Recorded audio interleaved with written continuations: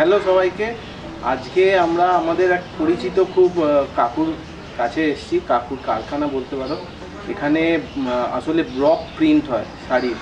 তো ছোটোবেলা থেকেই দেখছি, কিন্তু এখন এসেছি তার কারণ হচ্ছে এখানে সরকারের তরফ থেকে একটা বাটিক প্রিন্টের এখানে প্রজেক্ট পাওয়া গেছে।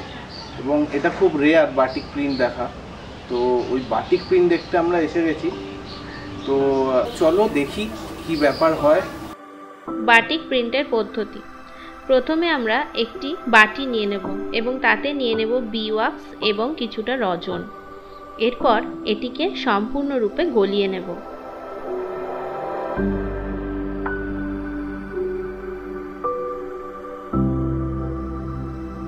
এবার এটা সম্পূর্ণরূপে গলে গেছে। এরপর আমরা একটা সাদা কাপড় নিয়ে নেব এবং তাতে ড্রয়িং করে নেব এবং তারপর সেটাকে লাগিয়ে নেব একটা টেবিলের সাথে। এবং তারপর আমরা ওই গলন্ত মোম লাগিয়ে দেব আস্তে আস্তে ড্রয়িংয়ের ওপর দিয়ে যেখানে যেখানে আমাদের দরকার। এরপর আসছি কালার তৈরির পদ্ধতিতে। এখানে আমরা ন্যাপথাল কালার ইউজ করব। প্রথমে একটি পাত্রে জল নিয়ে নেব এবং তার সাথে গুলে নেব মনোপল সোপ। এবং সেই জলটিকে গরম হতে দেব। তার সাথে মিশিয়ে নেব কালার। এটি আস্তে আস্তে ফুটতে শুরু করলে এর সাথে আমরা দিয়ে দেব কিছুটা কস্টিক সোডা। কস্টিক সোডার সাথে রিয়াকশন করে কালারটা হয়ে যাবে একেবারে ট্রান্সপারেন্ট এবং ট্রান্সপারেন্ট হয়ে গেলেই আমাদের কালার রেডি এরপর আমরা দুটি পাত্রে জল নিয়ে নেব এবং একটির সাথে মিশিয়ে নেব কালার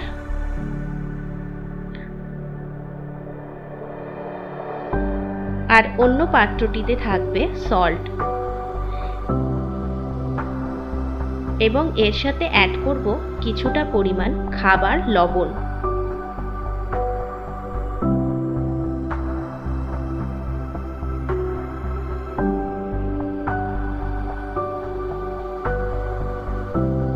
এবার কালারের মিক্সচারটিতে আস্তে আস্তে কাপড়টিকে ভিজিয়ে নেব এবং কাপড়টি সম্পূর্ণরূপে ভিজে যাওয়ার পরে সেটিকে সল্টের জলে আমরা আস্তে আস্তে ডোবাবো এবং এতে কি হবে? কালার হয়ে যাবে ওই কাপড়টি এবং ফাঁকা থেকে যাবে মোম লাগানো অংশ। মানে মোম লাগানো অংশগুলো সাদা রয়ে যাবে। এরকমই বিভিন্ন রকম রং এবং বিভিন্ন রকম সল্টে বিভিন্ন আলাদা আলাদা কালার আমরা পাব।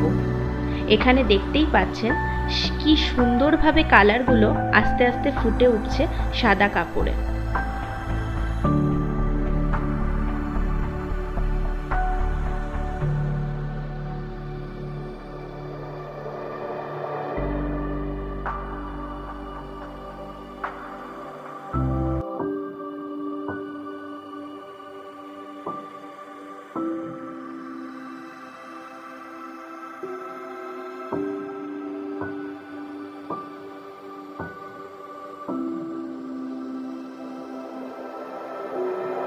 আমাদের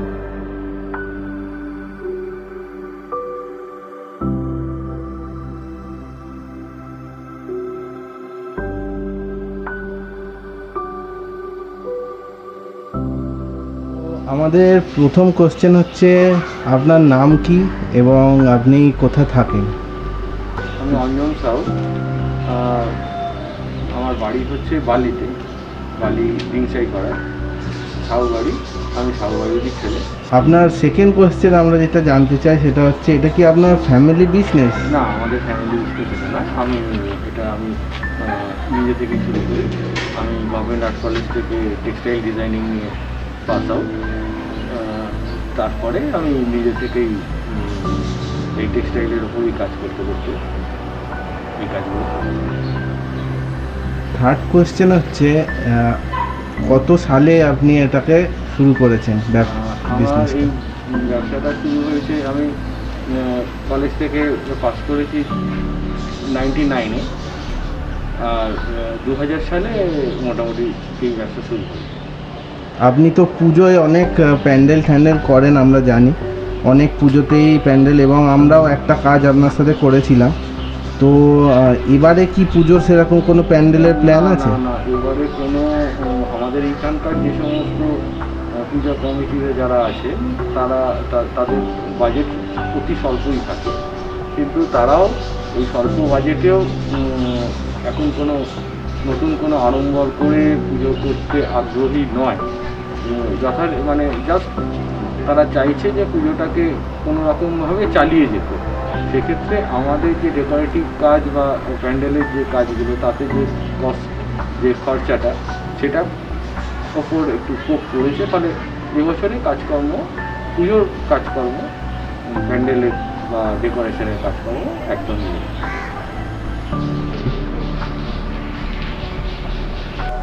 তো সবাই নিশ্চয়ই দেখলে ভিডিওটা একটু অন্য রকমের ছিল, কিন্তু এরকম ভিডিও বানানোর একটা আমরা চেষ্টা করেছি ভালো লাগলে অবশ্যই লাইক শেয়ার এবং সাবস্ক্রাইব তো করতেই হবে একটু অন্য রকমের ভিডিও আর কিছু অসাধারণ ভিডিও তৈরি করার চেষ্টা চালিয়ে যাচ্ছি তোমাদের জন্য।